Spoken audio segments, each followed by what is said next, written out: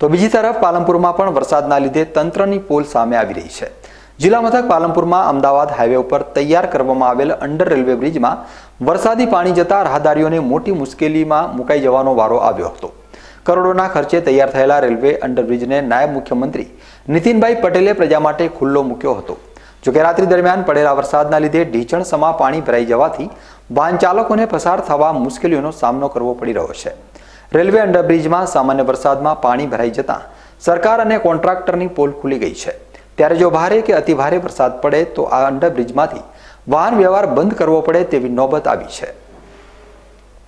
આ કોન્ટ્રાક્ટરો લાખો અને કરોડોની ગ્રાન્ટમાંથી આ પાણીનો કોઈ નિકાલ થવાનો કોઈ રસ્તો નથી અને ચોમાસાની અંદર અમારે બાજુમાં ઓફિસ છે.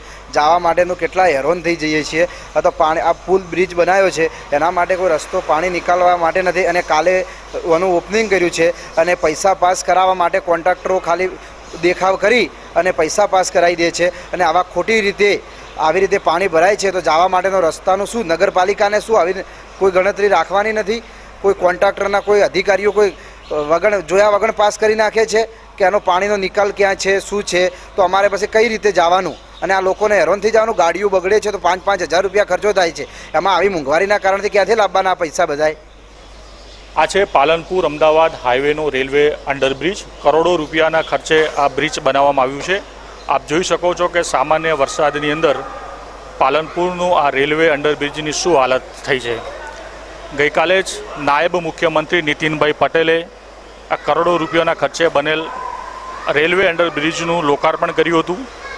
આજે અહીંથી સામાન્ય વરસાદની અંદર ઢીચણસમાં પાણી ભરાઈ ગયા છે.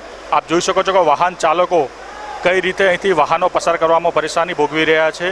નાના વાહનોને અહીંથી નીકળવું ખૂબ જ મુશ્કેલીનો સામનો કરવો પડ્યો છે. પાણીના નિકાલ માટેની કોઈ પણ વ્યવસ્થા આ રેલવે અંડરબ્રિજમાં નથી. કોન્ટ્રાક્ટરો કરોડો રૂપિયાના ખર્ચે આ બ્રિજ બનાવે છે, પરંતુ બ્રિજમાં વરસાદની અંદર જે પાણી ભરાય છે, એનું કઈ રીતે નિકાલ કરવો એ કોઈ પણ પ્રકારની વ્યવસ્થા નથી કરતા. બાલારામ અંડરબ્રિજની પણ આ આવી જ હાલત છે અને આ પાલનપુરના રેલવે અંડરબ્રિજની પણ આ હાલત છે. કેમેરામેન વિશાલ ગોલ સાથે Vinod Sundesa, BK news channel Palanpur.